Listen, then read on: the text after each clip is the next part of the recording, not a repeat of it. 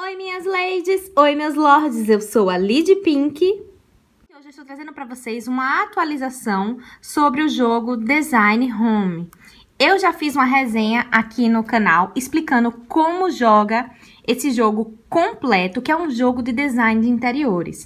Então, para quem gosta dessa coisa de arquitetura, né, design de interiores, decoração, com certeza vai amar esse jogo. E a explicação de como joga o jogo completo, eu, deixei, eu vou deixar aqui, tá? Na descrição do vídeo, o link para o vídeo que explica e também vou deixar aqui nos cards para vocês. Hoje eu venho mostrar apenas uma nova atualização do jogo, que é o campo My Homes, que são casas que cada usuário pode ter no jogo e decorar da forma que quiser. Não são desafios, são casas maravilhosas que a gente pode decorar cada ambiente. Então, se vocês querem conferir esse vídeo sobre a atualização My Homes do jogo Design Home, já vou pedindo aqui que se inscrevam no canal, ativem as notificações, deixem o seu like e também me sigam no Instagram. Lá eu sou arroba e vamos lá!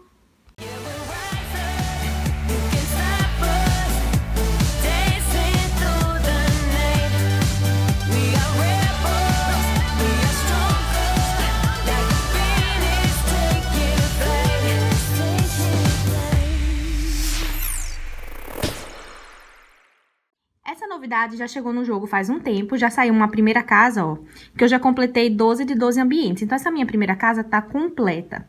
Se vocês querem jogar a parte de desafios do jogo, clica aqui em Challenges. E aí, vocês vão fazendo, ó, os desafios do jogo, que eles têm requisitos. Já o campo My Home não, é para você decorar sua casa como se ela fosse a sua casa dos sonhos, tá? Então, eu vou mostrar para vocês, por exemplo, minha primeira casa, que foi essa daqui. Só para vocês terem noção de como foi, ó. Ele mostra a planta da casa. Então, eu tô no segundo andar e tem o primeiro andar também. Vou clicar aqui em primeiro andar. No primeiro andar, ó, nós temos aqui a sala. Eu vou mostrar para vocês, ó. A sala que eu montei foi essa daqui.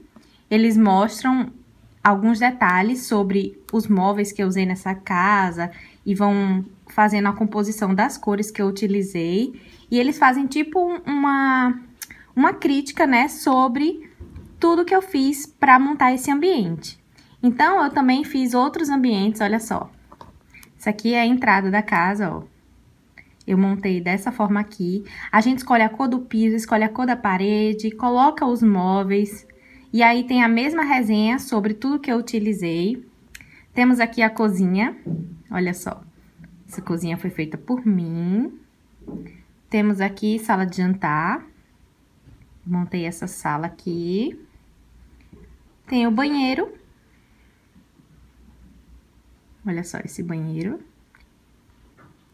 Bem bonito. Temos aqui o guest room. Olha só. Montei esse quarto. Tem também um ambiente externo aqui, ó. Que foi montado por mim. No segundo andar, o que é que nós temos? O banheiro das crianças, que eu fiz este, banheiro pink. Temos o master bedroom.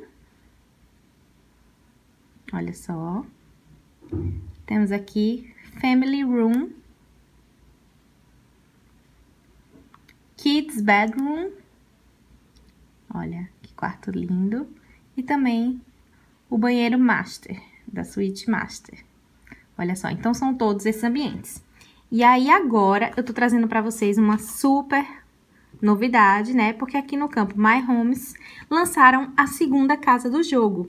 Então, eu não destravei essa casa enquanto eu não gravei pra vocês. Eu vou destravar essa casa junto com vocês pra vocês verem como funciona, tá?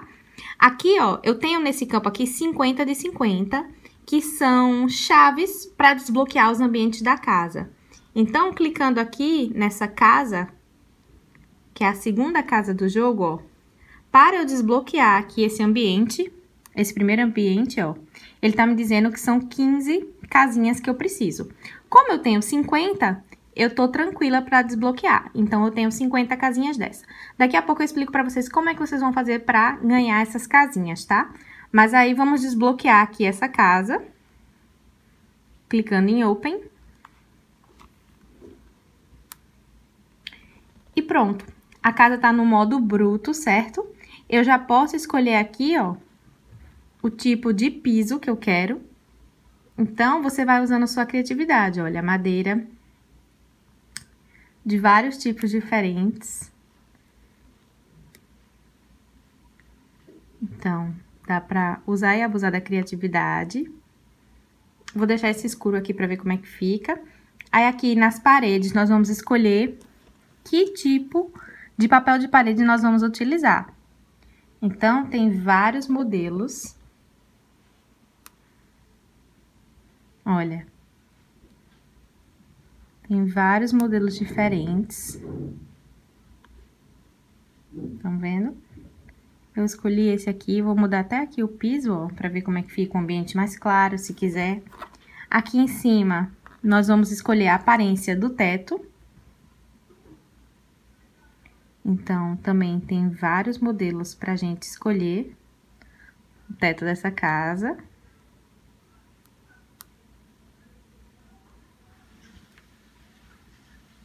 Aqui na parte de janelas, ó, nós podemos também brincar com a nossa criatividade, escolher que tipo de janela nós vamos colocar.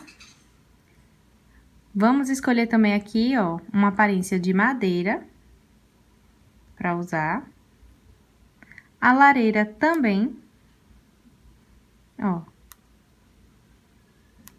Então, primeiro a gente escolhe todos esses detalhes da casa e aqui também o ambiente externo. Qual aparência que a gente quer que tenha de paisagem? Então, olha que lindo. Uma paisagem aqui de praia. Essa outra paisagem, olha que linda. E tem também esse outro tipo de paisagem aqui. Então, depois de tudo isso, a gente clica em continue, porque aí é que a gente vai começar a colocar os móveis e fazer esse ambiente. Na verdade, eu fiz aqui só para demonstrar para vocês, eu ainda não escolhi como é que eu vou querer esse ambiente. Vou fazer aqui em modo mais rápido para que vocês verifiquem como é que vai ficar esse ambiente e aí a gente passa para o próximo passo, tá?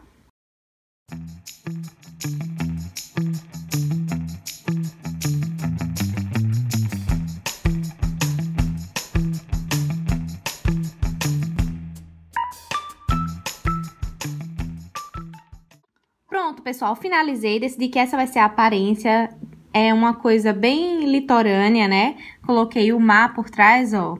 Aqui tem uma aparência, né, de algas marinhas, estrela do mar. Coloquei tudo branquinho e as madeiras do teto também brancas. O ambiente ficou pronto, eu clico aqui em continue. E agora já aparecem todos os móveis obrigatórios que eu tenho que usar nesse ambiente e também os opcionais. Os móveis obrigatórios são esses com bolinhas verdes e os móveis opcionais são esses com bolinhas na cor lilás, tá? Então, agora, vão aparecer os móveis que eu tenho no jogo para fazer esse ambiente.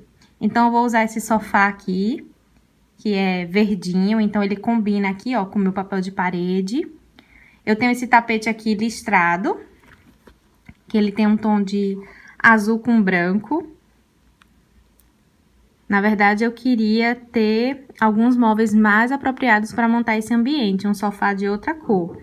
Eu vou ver, se eu não tiver dinheiro para comprar, talvez eu não finalize agora esse ambiente, porque quando a gente finaliza um ambiente da casa, fica como se aquele ambiente da sua casa estivesse pronto. A gente até pode reabrir o ambiente e fazer ele novamente, mas aí os móveis que a gente tiver colocado, a gente perde, entendeu? Então, eu não tô querendo perder os meus móveis, né? nesse ambiente. Então, eu quero poder montar o ambiente já da forma oficial que eu quero deixar essa casa.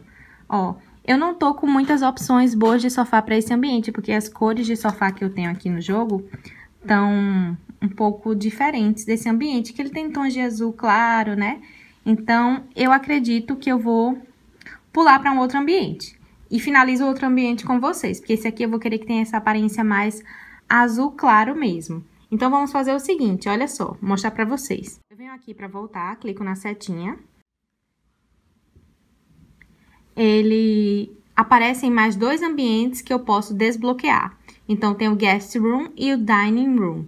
Eu vou desbloquear essa sala de jantar aqui e vamos ver o que, que acontece. Tá dizendo aqui que são mais 15 casinhas. Eu vou desbloquear Open. E aí ele me deu uma mensagem de erro. Ó, cômodo incompleto. Apenas um cômodo da sua casa pode, você pode estar trabalhando por vez. Então, o que, é que acontece? Ele não vai deixar que eu entre em um outro ambiente tendo um ambiente anterior incompleto.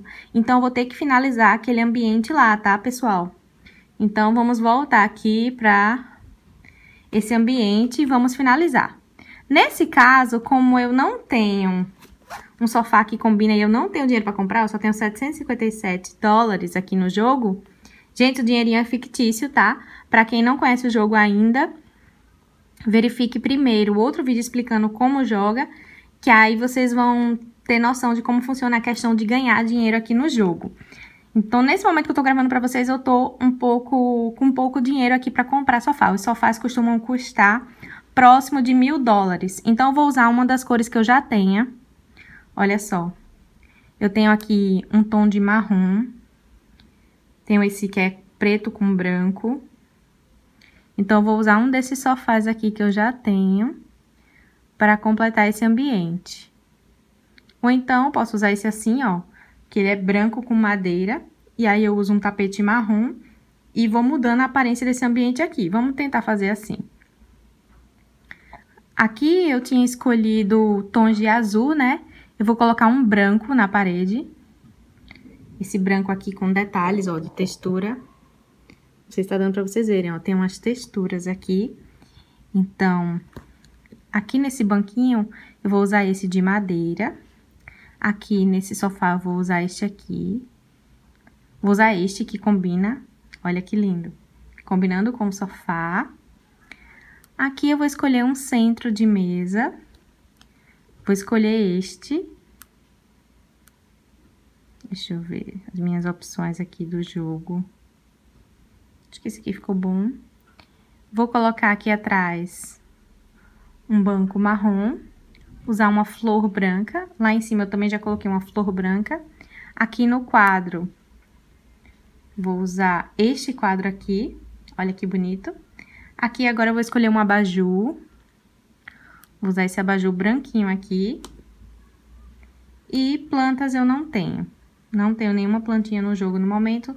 Não vou utilizar plantas nesse ambiente. Eu clico aqui nesse olhinho para visualizar sem os móveis que estão faltando. No caso, são só as plantas. E ficou assim o meu ambiente. Eu acho que eu vou mudar aqui um pouco o teto. Deixa eu dar uma olhadinha na opção de teto aqui disponível.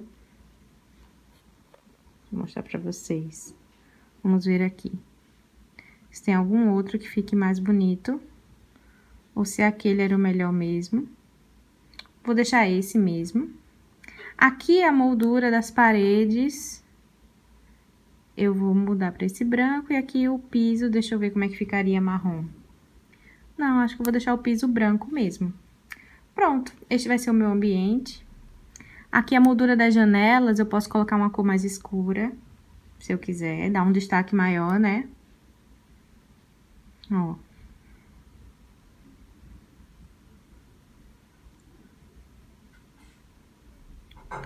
Tô em dúvida se eu deixo clara mesmo ou se eu deixo mais escura. Eu vou deixar assim. Eu gostei desse ambiente assim, achei que ficou bonito. Deixa eu só ver aqui a lareira, se eu vou fazer mais alguma mudança deixar assim. E vamos finalizar esse primeiro ambiente. Pra mim está ok, achei que tá bonito, ficou pronto. E vamos lá, clica aqui em Finish. Ele já mostra aqui, ó, Home Progress, que é o progresso da sua casa. Então, ele vai mostrar, ó, eu clico aqui, pronto. Ele mostra que eu já completei o primeiro ambiente dessa casa. E vão ter todos esses ambientes. Então, já ficou aqui a sala da minha casa. Eu ganhei 250 dólares por fazer esse ambiente. E, seguindo a ideologia da casa anterior, amanhã eu vou ganhar, no dia seguinte, né, ao dia em que eu estou montando essa casa, eu vou ganhar 500 gemas. Que as gemas são tipo a moeda principal do jogo, que é com ela que a gente compra plantas, quadros. Então, ela é bem importante. Então, eu vou des desbloquear aqui, ó, o Dining Room. São 15 casinhas. Olha, como eu gastei 15 para montar outro ambiente, você vê que eu já não tenho mais 50 de 50, só tenho 35 de 50. Então, eu vou aqui clicar em Open. E então, abrimos aí mais um ambiente aí, né, que vai ser uma sala de jantar.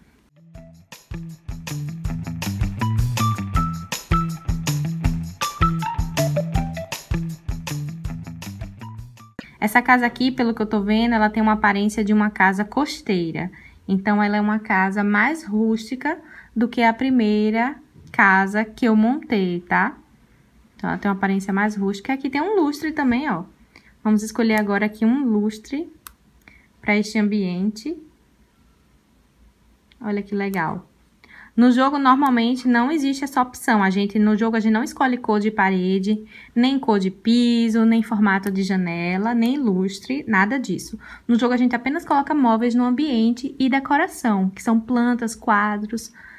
E essas casas dá para você ter noção mais ou menos de como você gosta das coisas, você exercita bastante o seu dom de arquitetura, né?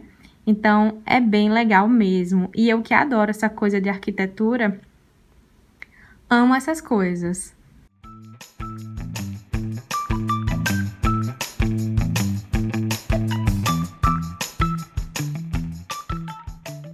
Pintei a parede de azul, botei as molduras das janelas brancas. Aqui a parte de madeira branca, o piso branco, teto branco. Esse lustre aqui eu vou deixar com essa aparência aqui prateada e a imagem do mar, que para mim foi a mais bonita. Clico em continue e agora aparecem os móveis, né, dessa sala de jantar. Então, aqui, ó, tem como colocar um quadro e eu tenho um quadro azul. Vou colocar esse quadro azul para dar um, um toque aqui azulado. Eu tenho um tapete azul também com branco, vou usar esse tapete.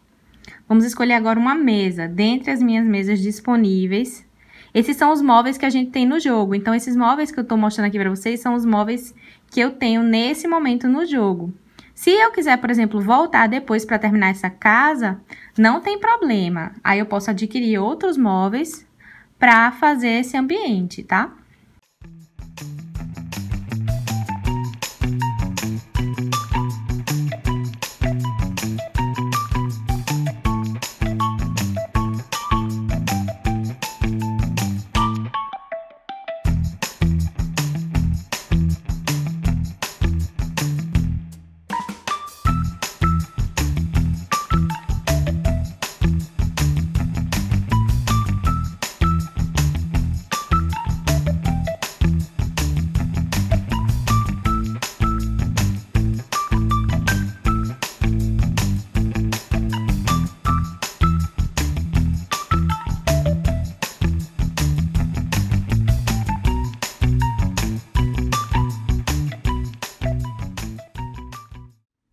Tenho essa cadeira aqui, que ela tem a borda marrom escuro e tem o encosto bege.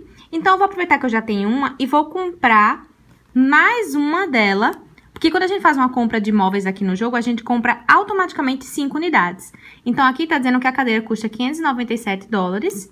Eu clico aqui, clico em Buy. Pronto, agora eu tenho mais 5 unidades, que são as 5 que vão completar a mesa. Então, eu vou colocar todas as cadeirinhas aqui, ó, para completar aqui o ambiente.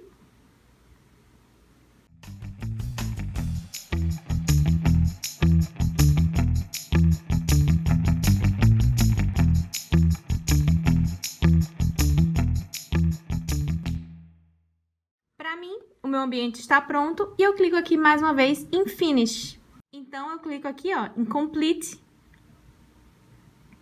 e pronto, montei aqui o meu segundo ambiente. Ganho mais 250 dólares e amanhã provavelmente vai estar chegando uma resenha sobre cada ambiente que eu montei que o jogo vai preparar.